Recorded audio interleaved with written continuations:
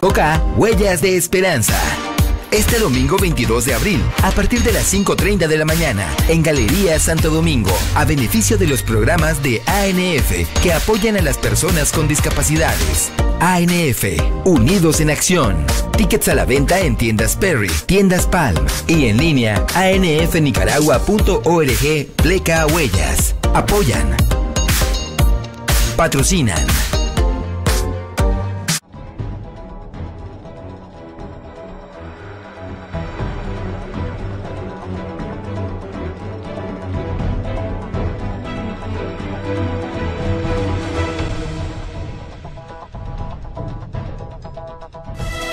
Buenas tardes, amigos oyentes. Ya estamos en los diálogos. Un mediodía caliente como fue una tarde caliente. Ayer estuvo muy caliente y hoy se ha recalentado. Javier, eh, yo hice una exposición hoy y quiero discutirla con vos. Este es un enfrentamiento de ellos entre sandinistas, entre el MRS y el Frente Sandinista. A diferencia de los años 80, los intelectuales estaban en el Frente Sandinista, que son los héroes y mártires que todos recordamos. Esta vez lo que he visto, digamos, es un enfrentamiento entre universitarios y, y gente que llega a apaciguarse. Voy a usar ese término. Muy diplomático. Muy diplomático. Eh, he visto a gente del MRS que está ahí, la Ana Quiroz, ¿qué hace ahí? Este es un movimiento estudiantil, esta es una mujer vieja, es una anciana. Pues con todo respeto se lo digo porque yo respeto a las personas mayores. Violeta Granera es una persona mayor también. Y el movimiento eh, supuestamente es de universitarios netamente, universitarios que están vanguardizados por el MRS que ha venido sin lugar a dudas trabajando duro en las universidades, porque en esto se han metido también eh, las universidades privadas que siempre se manejan al margen del asunto. Ahora, hay cuestiones simples en todo esto. ¿Qué es el viejo en la casa? El viejo de la casa es el patriarca, Javier, Sí. es la matriarca. Y los abuelos son, por naturaleza, muy condescendientes con los nietos. Ah, En el caso tuyo y mío fuimos muy pegados de la Josefana, que era la abuela de nosotros. Entonces el viejo recibe su pollo en el INSS, por poquito que sea, él le da algo a, a su chavalo y deja, se abstiene muchas veces de comer porque él está feliz porque le dio al nieto. Sí. Y eso lo miro yo a cada paso. Conozco casos, por ejemplo, de abuelas que agarran lo poquito que les den el seguro social y se lo, y se lo tiran al nieto. Al ver armado esto, el chavalo se siente ofendido. Esto ha sido muy bien aprovechado por algunos sectores, particularmente en el sector político. A mí me dio pesar ver a, la Ana Quiroz, pero el que se mete a Redentor muere crucificado. Le dio una piedra y le rajó la cabeza. Que es muy normal en esto. Me dio mucho pesar ver, digamos, todos los vitrales de la UCA desbaratados en estos enfrentamientos. Me ha dado mucho pesar lo que pasó en el Camino de Oriente con el dueño de ese restaurante que se lo desbarataron. Hoy en la mañana, eh, este noticiero, el pensamiento tiene, y la radio, y toda la radio, tiene como característica que le damos micrófono a la gente.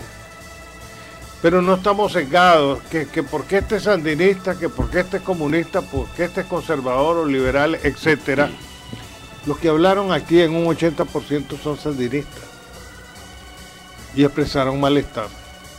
Yo creo que todo esto debe de tomarse en cuenta. Por otro lado, y esto lo marqué muy bien y lo sigo marcando, están ya pidiendo a la gente que se una a la protesta.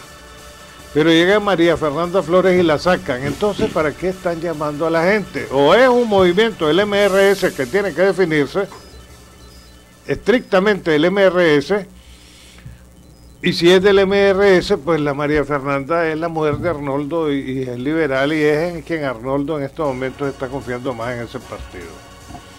Entonces, todas estas cosas las encuentro como contradicciones porque Eh, eh, el joven aquí ha sido indiferente, vos vas a tocar ese tema seguramente, y ahora está adoptando una posición completamente diferente a la que venía. Pero volvamos al factor sentimental al que yo me refería. El abuelo, la abuela. La abuela se sacrifica para darle al nieto. Está hablando de los pensionados, abuelos y abuelas pensionados. Y de los que no son pensionados también. Sí, cierto. ¿Verdad? La abuela es la abuela, el abuelo es el abuelo. E, el, cariño de abuelo difiere al del padre. No quieren ni que le peguen al chavalo ni que le llamen la atención, es alcahueto.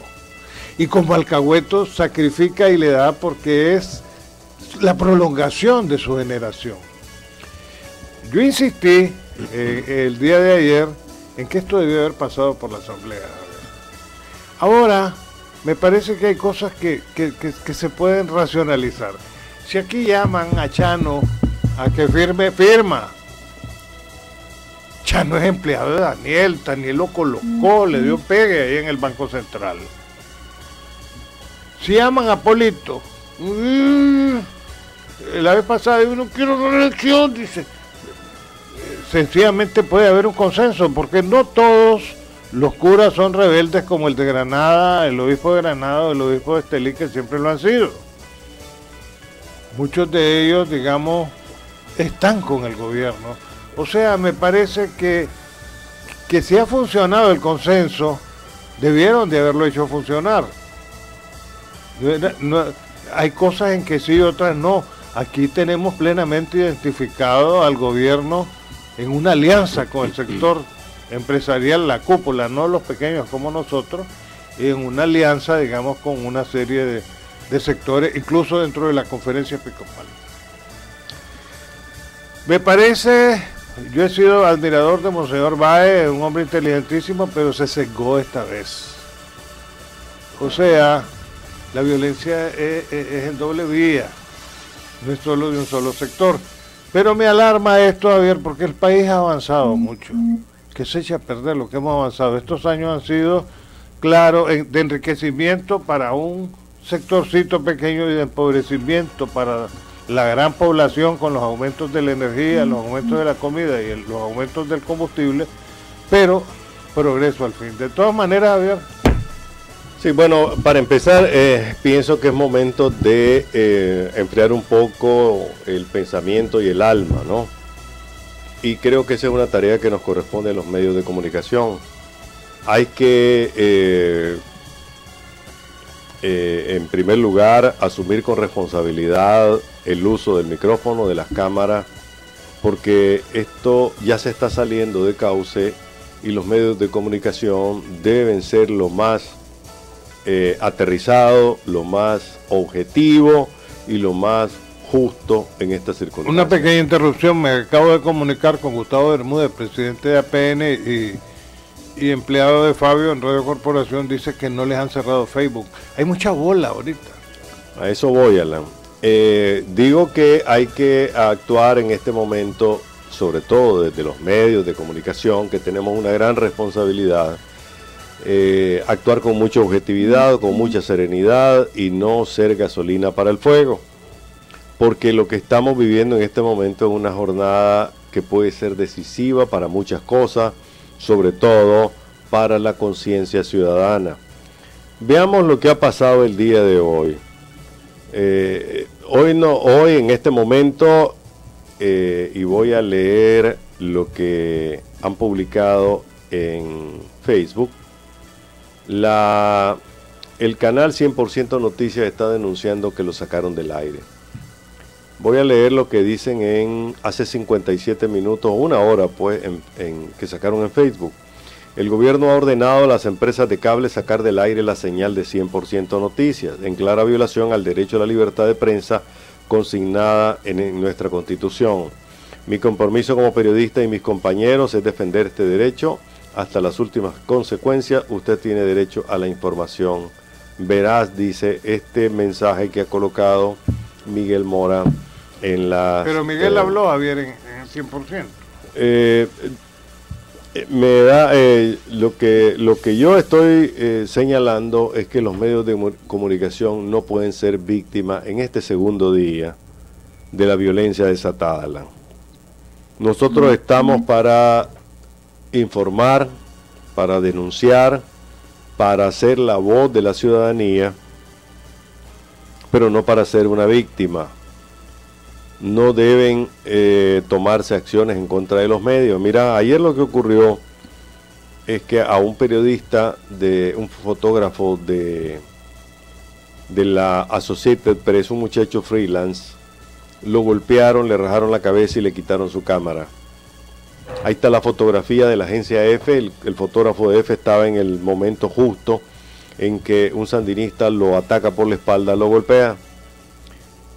Eh, nuestro corresponsal de Trinchera en la Noticia, Carlos Girón, en León, le quitaron su teléfono celular cuando estaba transmitiendo en vivo. A la periodista Marianela Flores, si no me equivoco, el nombre del diario La Prensa, le quitaron su teléfono. Al periodista Guillermo Treminio, eso lo informábamos ayer, Treminio Hijo, le quitaron dos celulares que son los que utilizaba para estar transmitiendo para la radio donde labora. Es decir, Alan, los periodistas no debemos ser objetivos en esto que está ocurriendo en este momento, ¿verdad? Bueno, además de lo que eh, acabo, acabo de reportar, el día de hoy se han producido incidentes violentísimos en la UNA, en la Universidad Nacional Agraria.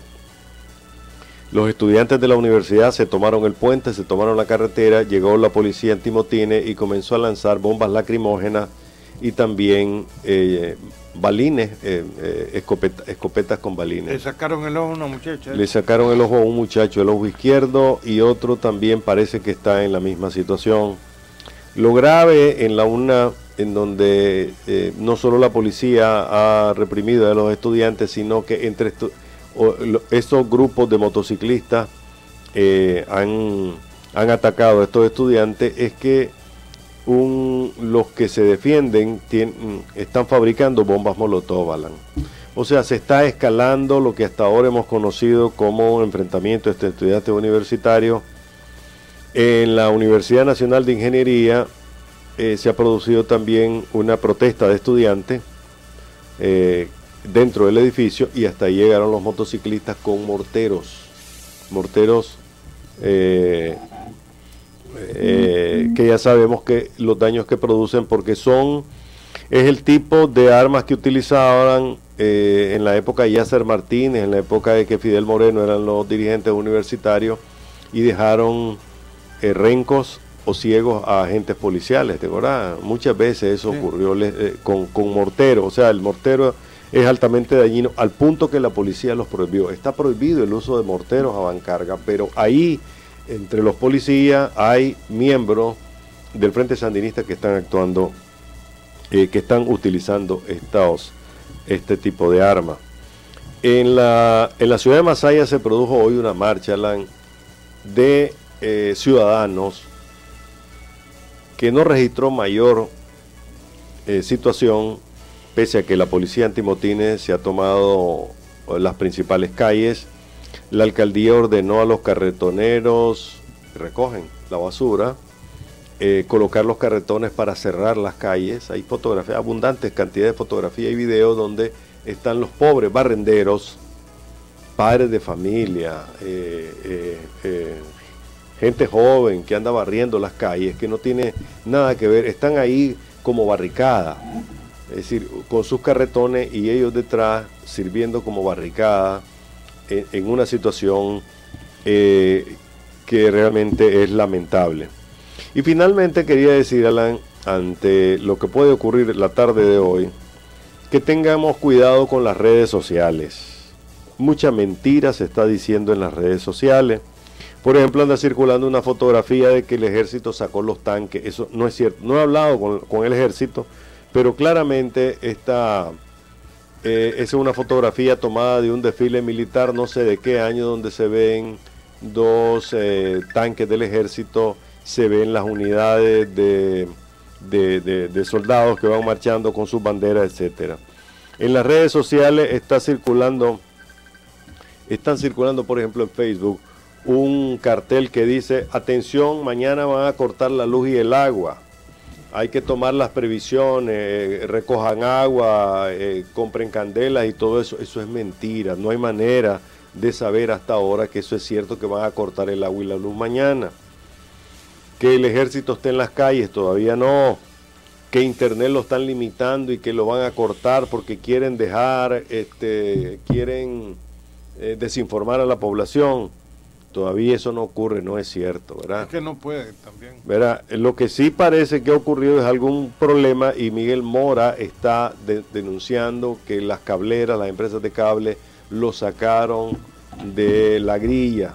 Eso es otra cosa, eso lo está asumiendo el, el 100% noticias, pero todo lo demás es un montón de mentiras. Cuidado con lo que están con, con la información que le llega y usted no vaya a creer que eso está ocurriendo. Hay algunos mensajes eh, Abdul Sirker dice, también los estoy viendo. Ah, muchas gracias, Abdul. Abdul Junior. Sí. Sofá rojo, sofá rojo. Ernesto y Nidia Monguía lo sacaron del aire también, no, estamos en el aire, aquí estamos. Así, estamos en Facebook Live. Hasta ahora eh, Facebook es una, es una ruta limpia, libre, por la que estamos cabalgando. ¿eh? José Argüello dice, MRS siempre está manipulando cualquier reclamo, de tal manera que el problema ahí es la bandera del día o la muleta del día, de que puede darle color al MRS. Este es el problema. La manipulación, dice eh, en este mensaje, que ya se está haciendo. Oscar Bracamonte, don Alan y don Javier, me gusta este programa, lo escucho a diario. Se me fue, se me fue Werner la, la señal del, del, teléfono. Werner es el que capta. Bueno, hay otras fotografías que quiero ver la veracidad de esto, Alan. Hay uno, hay dos o tres fotografías de camiones del ejército circulando por las calles, pero estoy viendo que son camiones de transporte de soldados, eh, camiones que cargan agua. Eh, eso es una cosa, otra cosa es sacar los tanques a la calle, ¿verdad? Y posiblemente el ejército eh, tiene unidades moviéndose Voy a tratar de conseguir rápido una comunicación con el coronel Guevara a ver qué nos dice. Por otra parte, Alan, yo quisiera decir que eh, lo que estamos viviendo en este momento, y coincido con vos, puede tener dos factores fundamentales. El primero es que la decisión tomada por el gobierno con las pensiones, con, el seguro social y, y lo que ya conocemos, ha tocado el núcleo de la familia y eso hasta ahora el Frente Sandinista se había cuidado. Es decir, cuando vos tocas al patriarca de la casa, que tiene una pensión reducida del Seguro Social, eh, que le dan eh, mil pesos, dos mil pesos y le quitas 40, 50, eso es una agresión al bolsillo del patriarca de la casa o del abuelo o de la abuela. Cuando vos, vos eh, amenazás con o le vas a quitar, porque si es una familia en donde hay un jubilado, un pensionado y además una o dos personas que cotizan, la disminución eh, del ingreso de la, de la, familia se reduce, es decir, el pensionado, el viejito va a recibir 50, eh, 60, lo que sea, menos dinero, el trabajador que va a pagar más por la pensión, eh, por su cuota al seguro social, va a recibir más y lo peor sería es que le cayera un despido por razones de reajuste en la empresa. Creo que Ortega no midió hasta, hasta ahora las consecuencias de que iba a tener eso en el seno del hogar, Alan. Recordemos una cosa, nuestros hogares todavía son multihogares. Generalmente viven los abuelos, los padres y los hijos en la misma casa. Conozco todavía eh, lugares en donde hay tres, cuatro familias juntas viviendo a la sombra de los padres, algunos de los cuales ya son, ya son pensionados. Y por otra parte, me parece, Alan, que lo que estamos viendo en las universidades trasciende totalmente al MRS. El MRS hasta ahora había sido el que se metía en cada, en cada conflicto para confrontar al Frente Sandinista, porque esa ha sido su estrategia confrontar al FCLN en las calles, disputársela, porque quiere convertirse en la segunda fuerza política de este país. Y eso, que hacía ahí la Ana Quiroz y la Violeta. efectivamente, eh, si la semana pasada, y no sé dónde está el sobrino nieto de, de Gustavo Latino, si la semana pasada era prohibido, expulsaron a María Fernanda de una manifestación porque era dirigente de un partido político, eh, con mucha más razón los otros políticos del MRS tenían que haberse salido de un movimiento que ya para mí trascendió, porque en las universidades, fíjate bien, la UCA ayer tenía un fuerte movimiento de protesta, lo, ha tenido desde el tema del indio maíz, y eso hizo que eh, se aparecieran los grupos de motociclistas y destrozaron parte del edificio y luego mantuvieron sitiada a la universidad a la espera de que salieran los estudiantes de universidad. La UCA cerró, por eso hoy no hay una protesta porque la UCA en previsión de lo que pudiese ocurrir cerró. La UNI había anunciado el cierre, pero un grupo de estudiantes decidió manifestarse y se han producido hechos de violencia el día de hoy.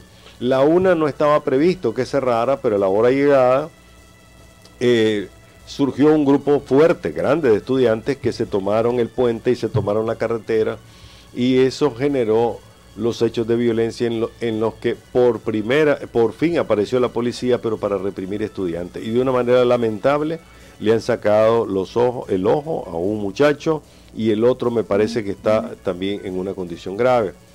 Todavía no sabemos de otras universidades, la UNAM está hasta ahora tranquila, todas las rotondas están tomadas, eh, el, parquecito de Alexis Argüello está tomado por la gente del frente. Había una, una convocada una marcha para hoy en la mañana o, en la tarde frente al Banco Central por el frente.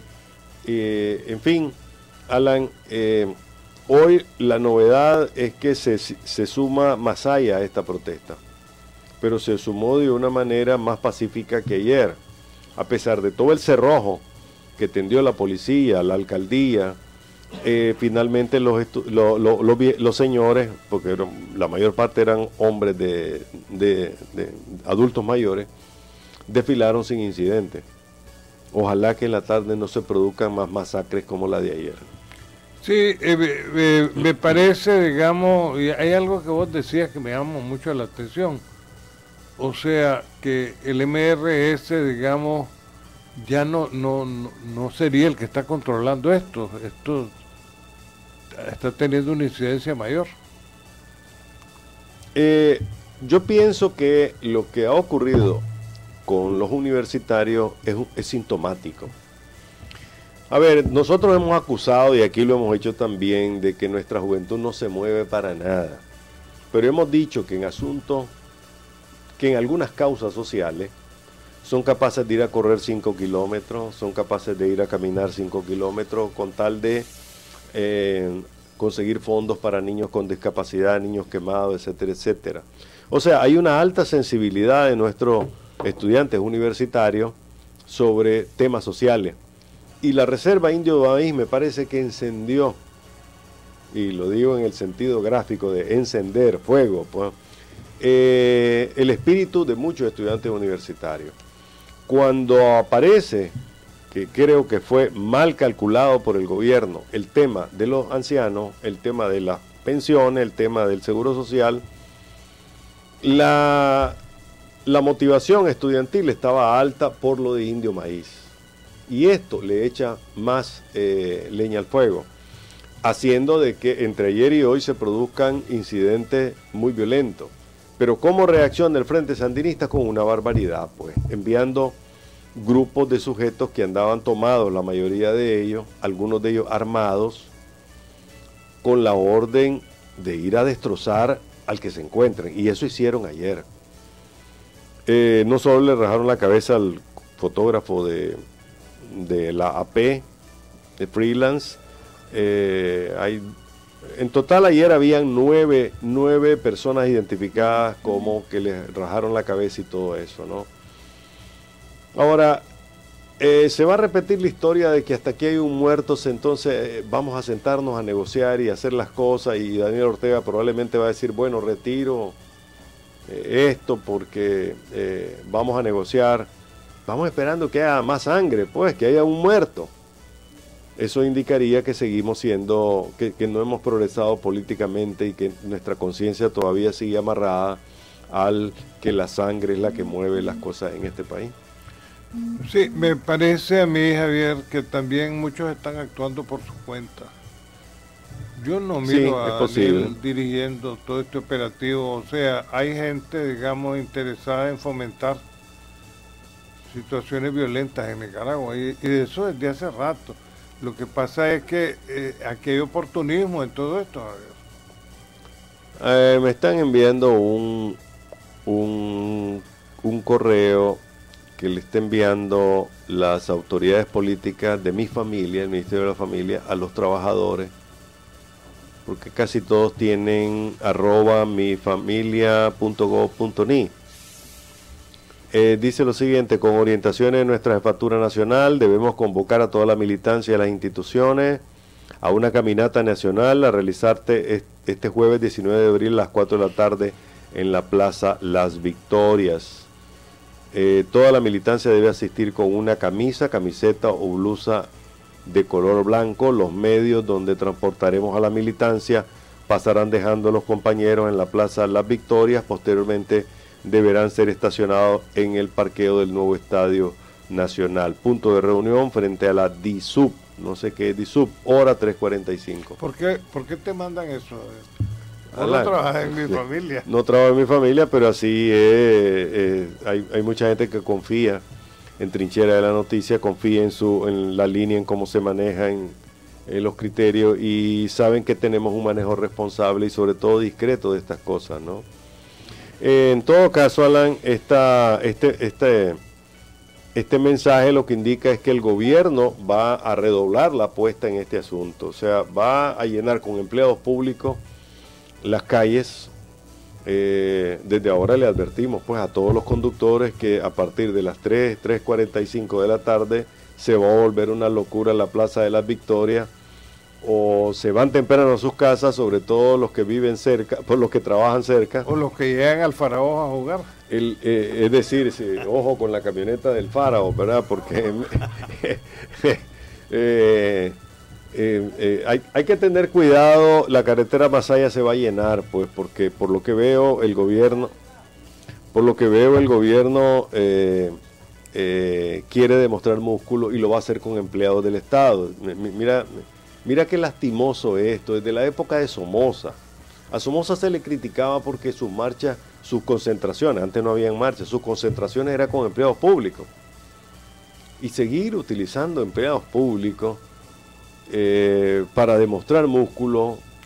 Este comunicado lo firma la Marcia Ramírez Mercado. Eh, eh, efectivamente, a ver, te digo, de Yaoscalinet Rivas Girón, que no lo manda desde un correo institucional, sino desde Gmail, se lo manda a, bueno, hay una cantidad impresionante de, de correos, casi todos algunos que son Gmail, casi todos con mi familia, arroba mi familia punto Javier, vos que, has estudiado mucho el asunto. No, las universidades están cerradas. Sacaron de, del aire, Miguel se está quejando, le reclama a Rosario, dice, y le reclama a Daniel, que lo hayan sacado del cable. Eh, ¿Cómo es el asunto en los cables de esos canales nacionales? Eh, yo entiendo que el VHF pagaba, no, eh, eh, tenía entrada libre, pero los UHF, como 100%, el canal de nuestros amigos Suárez, esos pagan. A ver, ¿cómo está eso? No, no, a ver, sí, efectivamente, para que vos esté, entres en la grilla de, de, un, de, una, de una cablera, pues, de una empresa de cable, vos tenés que pagar primero podés, podés, tenés el derecho de optar, porque hay una, hay una disposición sobre eso. Eh, por ejemplo, del primero del, del, del, canal 2 hasta el número 14 es por disposición de Telcor. Antes era hasta el canal 12. Sí, ahora es hasta el 14. Pues, por, lo, lo, que está pela ahí. Por lo que está el canal 13, más bien diría yo, ¿verdad? Eh, pero eh, les cobran, pero eh, algunos, algunos no pagan, Alan, porque es del interés de la cablera tener canales nacionales como una opción. En este caso, 100% Noticia eh, había logrado desde hace rato llamar la atención, pues, que la incluyeran en la grilla. Grilla se le llama a, toda esa, a toda la eh, los canales que están dentro de una, el orden en que están dentro de una disposición. Ahora, ¿será eso? Eh, quizá eh, lo que sí es un hecho es que Miguel está fuera, está fuera ahorita, no lo podés ver en el cable. Hombre, es demasiada la cantidad de gente que nos está escribiendo en estos momentos al programa que tenemos. ¿A que se recibo, don Alan? Sí, sí, vamos a leer algunos, Javier. Vamos a, leer algunos, ¿verdad? Porque es imposible. Mira, Werner, se me fue otra vez. Sí. ¿Verdad? Eh, después donde me lo mandaron de las Osorito, Osorito Tecnológicas para aprender. Pero vamos a leer algunos. O sea, eh, este programa está en Ustream, está en Trinchera en la Noticia, está en la página de, que nos hace Fidel Hernández, ¿verdad? Por lo menos la eh, página. Esto sí es lamentable, Alan. Hay una cuando oí la noticia no lo quería, no lo, no lo quería creer, pero aquí está el memorándum, ya me hicieron llegar la circular de Aunar García García, el director general de la Cruz Roja, con fecha de hoy, 19 de abril, dirigido a los presidentes y directores de filiales departamentales y municipales de Cruz Roja. Dice, desde los últimos sucesos ocurridos en el país se les orienta. Uno, suspender todas las actividades de terreno que se puedan confundir con manifestaciones de protesta, como las que se están dando en diversos departamentos de nuestro país. De esta manera evitaremos poner en riesgo la integridad física de nuestros voluntarios y personal administrativo. Dos, activar sus centros de operaciones de emergencia con el fin de recabar toda la información que resalten las acciones enfocadas en la atención prehospitalaria y posteriormente puedan remitirnos dicha información al COE. 3. También priorizar que todo personal que se desplace al terreno a brindar atención prehospitalaria, estos deberán andar con todo su equipo de protección debidamente certificados, al igual que nuestros vehículos. 4. Tener presente nuestro actuar humanitario respetando nuestros principios fundamentales del movimiento internacional de la Cruz Roja y Media Luna Roja, en especial del principio de humanidad, neutralidad e independencia. Y lo leo, Alan, porque eh, estaba circulando igual en Facebook, donde hay ojos. Pero es muy peregrino esto, yo no le entiendo, explícamelo. lo, que están diciendo es que van a atender, ¿verdad? pero hay que, hay que, tener mucho cuidado, porque lo que se había dicho hasta ahora es que habían suspendido la atención y eso no puede ser. Si le raja, como ocurrió ayer. Esto no es guerra, Javier. No, o sea, ¿qué le pasa a la Cruz Roja? Que no estamos en guerra. Por eso, y aunque estuviéramos en guerra, mucho, mucho más razón para que ellos tengan que atender casos. Ayer, por ejemplo, se, que hubo tantos rajados de eh, en Camino de Oriente, se quejaron de que la Cruz Roja no atendió los llamados. Y ahora lo que dice, suspender todas las actividades de terreno que se puedan confundir con manifestaciones de protesta. No entiendo. Pues como las que se están dando. Exactamente. Pero dice al final que hay que priorizar que todo personal que se desplace al terreno a brindar atención prehospitalaria debe andar con todo su equipo para ser debidamente identificado. La Cruz Roja no puede en este momento decir eh, no vamos a cubrir porque ustedes están en protesta. No puede hacer eso. Ayer no se aparecieron a Camino de Oriente.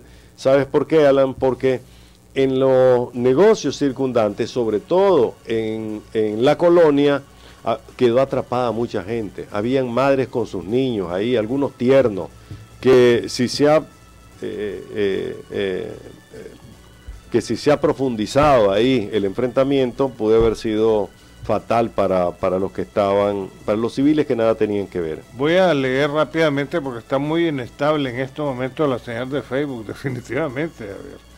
Manuel Sobalbarro, el enemigo de mi enemigo es mi amigo. No le entiendo. Manuel, si puedes escribirnos otra vez, yo, porque lo que yo digo, el enemigo, el amigo de mi enemigo es mi, mi enemigo también. Y así pienso, como judío. Javier Reyes Alba, excelente tu punto de vista en cuanto a esta protesta. Rebasó a los partidos, dirigentes, etcétera, y eso hace más peligroso todo esto. Oscar Bracamonte. Jorge Horacio Martínez Gómez, que tan cierto es que 100% noticias está censurado. No está censurado, está fuera del cable, dice Miguel. Alberto Palacio Martínez, ese cuerpo que el mes organiza estas marchas, ese cuento de que el mes organiza estas marchas, es posible que participen algunos miembros, pero la mayoría son estudiantes.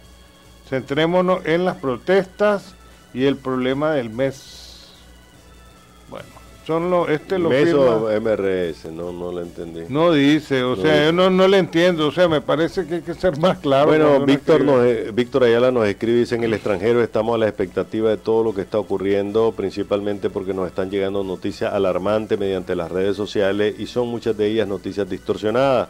Algunos con quienes he conversado, inclusive una persona en Canadá se mostró bastante alarmada. Esperamos que todo lo que está ocurriendo no sea tanto como se maneja en las redes sociales, lo cual pienso es una mala forma de estar al tanto con lo ocurrido. Por eso insisto, en situaciones como esta y siempre hay que dejar que los profesionales hagan su trabajo y los profesionales son los periodistas que están informando. Mira, eh, Mauriel Montoya Vega dice, doctores Alba, Pues, muy bueno, a mí me encanta el apellido Alba. Aunque Sí. William Teffel dice, pero le sacaste provecho a Teffel. Gracias por el balance en el análisis.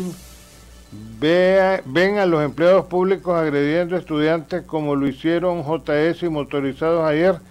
No, el empleado público es muy pasivo. No, no, él yo no- no veo, él sí. va porque lo mandan, Sí, no, no- pero no son agresivos. Generalmente Y no deberían, ¿verdad? Porque son, padres de familia, son Así es. madres de familia, son gente que tiene responsabilidad, pero además, ¿de dónde ir a garrotear a otro, a otro nicaragüense, pues? Es decir, estos son estos motorizados, porque ayer Miguel Mora dijo que se llamaba la Brigada de Motociclistas eh, Carlos Fonseca Amador. Qué vergüenza, si esto es así, eh, que se llame Carlos Fonseca Amador, ¿verdad? Porque está diseñada para paliar gente, para reprimir personas. Y un hombre, un- un- una figura de la talla de Carlos Fonseca no debería ser bautizada, no debería haber el nombre de una unidad dedicada a reprimir a las personas, ¿verdad? Eh, por otra parte, en la ciudad, en la ciudad de Masaya hubo hoy incidentes también. De nuevo, eh, aparecieron los grupos con eh, morteros. Tenemos fotografías que vamos a ir publicando poco a poco de la gente con morteros, palos y piedras. Y así están reprimiendo las manifestaciones, ¿verdad? Lo cual sigue siendo una barbaridad. Bueno, eh, solo quiero señalar al- algo para irnos. Eh, Miguel Mora hizo una transmisión en directo. En Facebook, sí. ¿ve? Estaba completamente en directo y la gente, fue una buena oportunidad para que la gente, digamos, se pegara al cable a ver a Miguel. Y ningún canal lo hizo. ¿verdad? Y a lo mejor, pues, todas esas cosas contribuyeron a, a todo esto. Hasta mañana.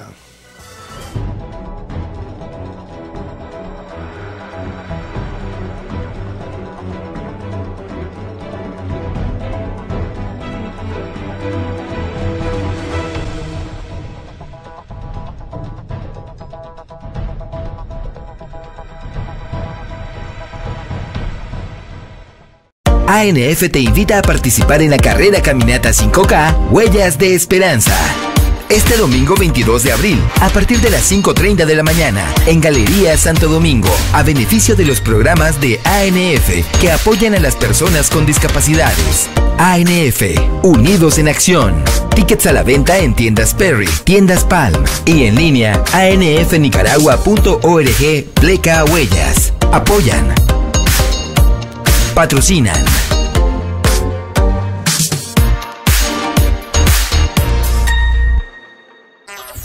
La calle, el único semanario con circulación a nivel nacional, con deportes, sucesos, farándula, pasatiempos, horóscopo, la modelo de la semana para coleccionar.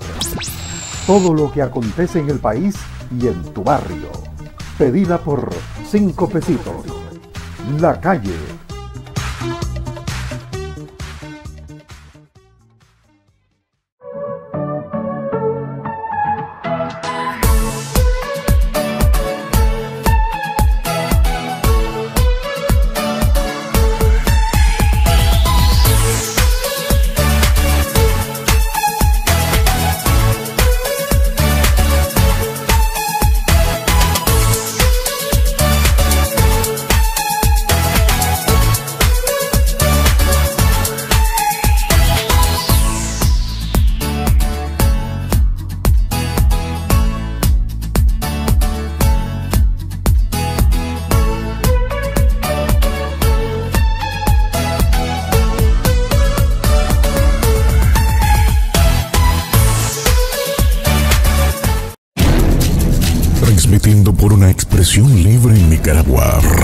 Pensamiento, 880 kHz. Y para el mundo, radioelpensamiento.com. Radioelpensamiento.com.